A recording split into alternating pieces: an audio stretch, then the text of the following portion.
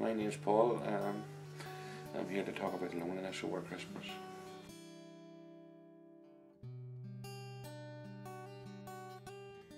For me, it's a lonely time of the year for people because there's so much pressure put on people to provide and not take care of themselves.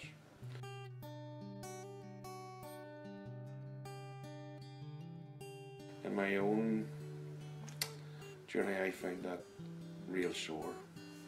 I had good parents around me, good people around me, but I still felt very alone.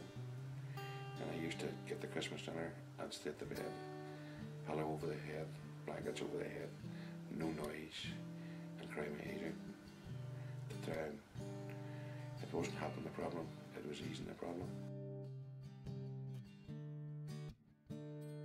From my journey, I can tell you, if you've a breath in your body, you always have a bit of hope.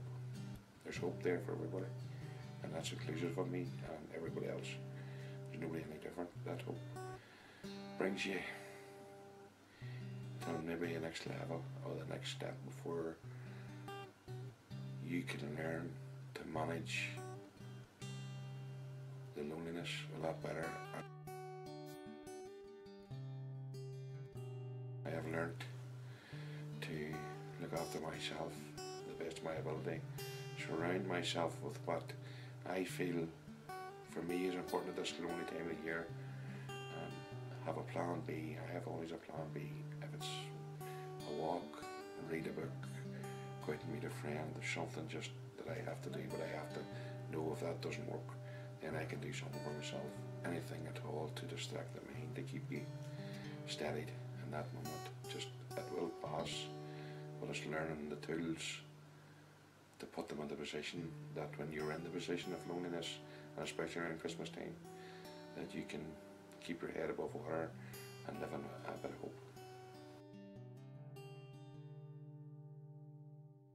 I would just like to wish all the people a happy and peaceful Christmas and don't think you're ever on your own out there. There's people there to support don't isolation, loneliness, whatever. And like to take this opportunity to thank the staff of AWARE for their continued support in from about 2011 to the present day and hopefully continued in 2015. Just want you all to know, all to have a happy and peaceful Christmas.